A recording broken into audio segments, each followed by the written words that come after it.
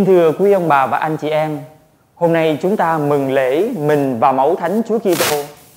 Giờ đây xin kính mời quý ông bà và anh chị em cùng lắng nghe trích đoạn lời Chúa.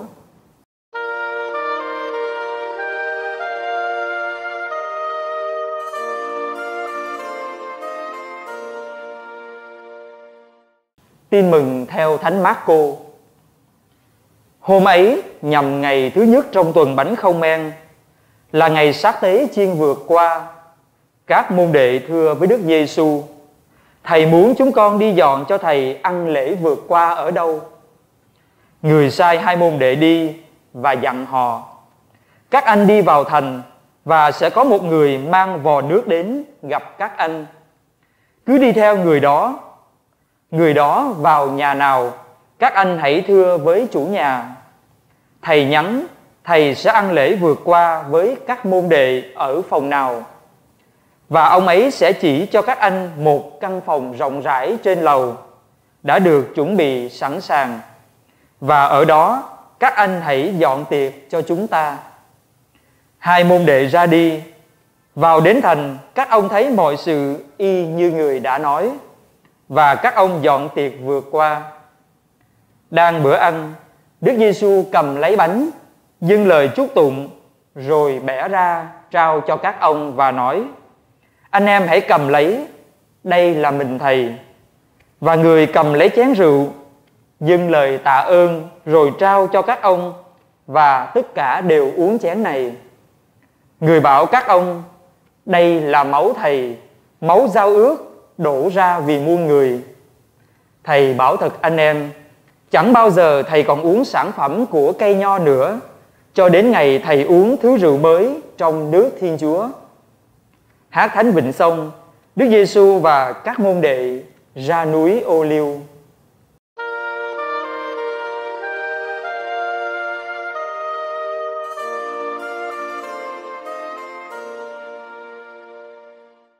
Kính thưa cộng đoàn phụng vụ, hôm nay giáo hội hân hoan mừng trọng thể lễ mình và máu Thánh Chúa Kitô. Vì yêu thương nhân loại, Thiên Chúa đã ban mình và máu Thánh Chúa Kitô làm tặng phẩm sự sống cho loài người chúng ta. Vì vậy, dựa trên ba câu lời Chúa trong các bài đọc ngày hôm nay, còn xin gửi lên ba cái tâm tình để chúng ta cùng nhau suy niệm. Tâm tình thứ nhất xin chia sẻ với cộng đoàn dựa trên câu lời Chúa trong bài đọc 1 mọi lời của Đức Chúa đã phán, chúng tôi sẽ thi hành. Bài đọc 1 kể lại việc ông Môsê đọc sách giao ước cho dân nghe những lời của Đức Chúa và dân đã hứa tuân giữ các điều đó. Lời Chúa là ngọn đèn soi cho con bước, là ánh sáng chỉ đường con đi và bất cứ ai đi theo sự hướng dẫn của lời Chúa chắc chắn không bao giờ bị sai lạc về đời sống. Như vậy, lời đáp trả của dân Do Thái xưa kia chính là lời mời gọi cho mỗi người Kitô hữu chúng ta ngày hôm nay. Hơn bao giờ hết, khi xã hội Việt Nam chúng ta đang chạy theo những lời mời mọc có cánh, những lời gian dối, những lời ngon ngọt của ảo tưởng tiền tài, vật chất, địa vị, danh vọng thì người Kitô hữu được mời gọi đặt nền tảng cuộc sống của mình trên lời Chúa và để cho thần khí Thiên Chúa hướng dẫn cuộc đời mỗi người chúng ta. Tâm tình thứ hai xin chia sẻ với cộng đoàn dựa trên câu lời Chúa trong bài đọc 2. Máu của Đức Kitô thanh tẩy lương tâm chúng ta. Máu của Đức Kitô thanh tẩy lương tâm chúng ta. Người Do Thái thời Chúa Giêsu quan niệm rằng máu là sự sống và ông Môsê cũng nhiều lần dùng máu của con vật để cử hành nghi lễ xá tội cho dân Do Thái. Nhưng thực sự, máu của Chúa Kitô mới có khả năng thanh tẩy lương tâm chúng ta và mang lại cho chúng ta sự sống mới, sự sống phục sinh. Đức Giêsu đã đổ máu ra để lập một giao ước mới giữa loài người với Thiên Chúa. Máu của Đức Kitô giao hòa con người với Thiên Chúa và với con người với nhau. Máu giao ước đó làm cho con người trở thành con cái ruột thịt của Thiên Chúa và trở nên anh em ruột thịt với nhau. Nhân loại đang xa lìa Thiên Chúa và bất hòa với nhau đã được người giao hòa thành một gia đình yêu thương thuần hòa sống chết có nhau nhân loại đang sống trong tội lỗi được máu của người tẩy sạch mọi vết nhơ Chúng ta được ân phúc như vậy là nhờ Chúa Kitô đã từ hiến mạng sống của mình. Dòng máu Chúa Kitô đổ ra đến đâu, đem lại sự sống đến đấy và dòng máu người chảy trôi đến đâu thì ban ơn tha tội đến đấy. Tâm tình thứ ba xin chia sẻ với cộng đoàn dựa trên câu lời Chúa. Anh em hãy cầm lấy, đây là mình Thầy. Chúa Giêsu không chỉ chịu chết cho con người để được sống, nhưng Ngài còn nhìn thấy rằng là con người cần được nuôi dưỡng để kéo dài sự sống. Và người đã để lại một thần lương tuyệt vời để nuôi sống loài người. Đó chính là thịt và máu của người.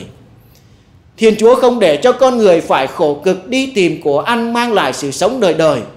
Nhưng Ngài ban cho con người thức ăn để con người được sống và đến với Ngài trong tình yêu thương bao la tuyệt vời. Mặt khác, Thánh thể không chỉ tạo ra mối tương quan ân tình giữa Chúa và mỗi người, nhưng còn mời gọi, mở rộng và bao trùm ra tất cả mọi người.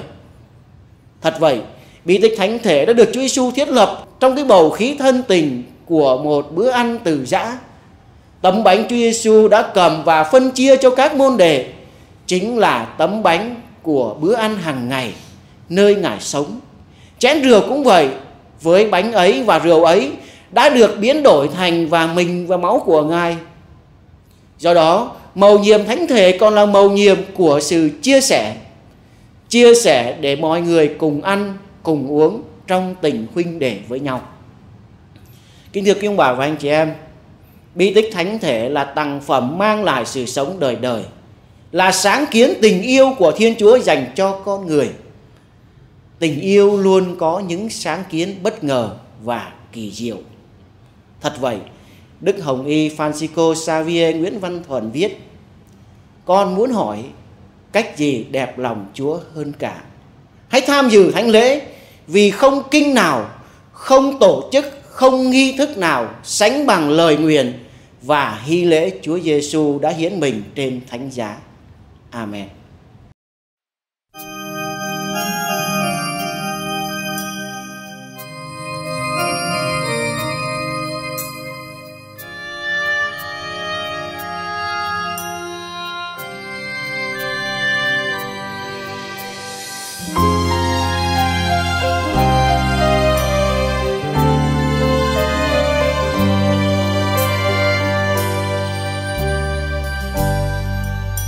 Đời con là những nốt nhạc thiêng, chúa theo dệt nên thành khúc ca tuyệt vời. Đời con là khúc hát tri ân, xin dâng muôn đời lời tạ ơn thiên chúa. Tạ ơn vì chúa đã rộng ban cũng ân tràn lan tình mến thương vô vàn. Tạ ơn vì những nỗi oan khiên Chúa đã tôi luyện một niềm tin chúng kia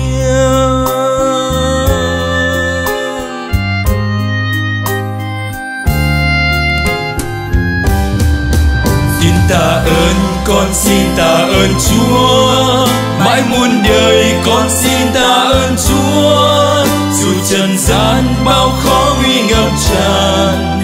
Tình ngài thương con bước đi bình an xin ngợi ca bao la tình thương Chúa.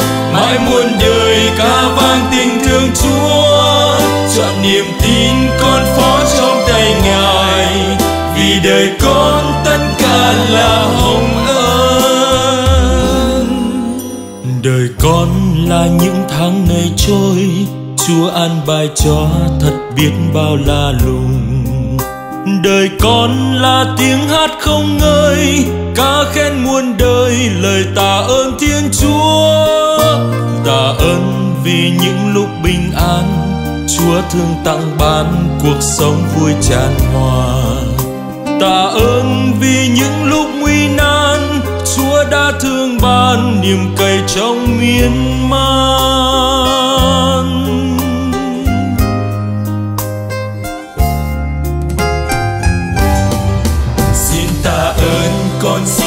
Ơn Chúa. Mãi muôn đời con xin tạ ơn Chúa. Dù trần gian bao khó nguy ngập tràn, tình ngài thương con bước đi bình an. Xin ngợi ca bao la tình thương chúa. Mãi muôn đời ca vang tình thương chúa. Chọn niềm tin con phó trong tay ngài. Vì đời con tất cả là hồng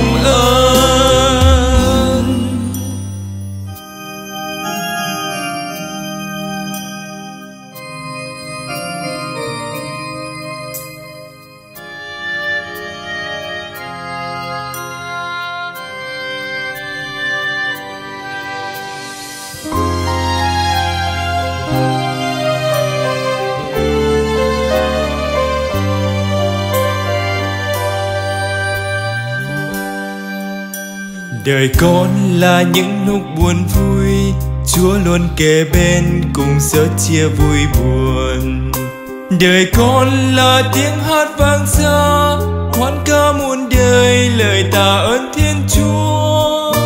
Tạ ơn vì những lúc hiền ngoan, chúa thương tăng ban muôn thánh ân tuôn tràn tạ ơn vì những lúc điêu ngoa, chúa đã thương tha bằng tình yêu bao la.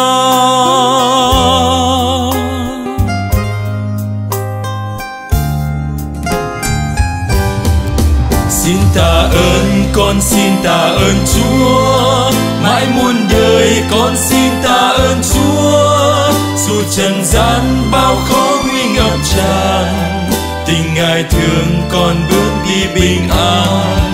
Xin người ca bao la tình thương chúa, mãi muôn đời ca vang tình thương chúa. Chọn niềm tin con phó trong tay ngài, vì đời con tất cả là hồng ơn xin tạ ơn con, xin tạ ơn chúa. Mãi muôn đời con xin tạ ơn chúa trần gian bao khó nguy ngập tràn. Tin ngài thương con bước đi bình an. Ngợi ca bao la tình thương chúa, mãi muôn đời ca vang tình thương chúa.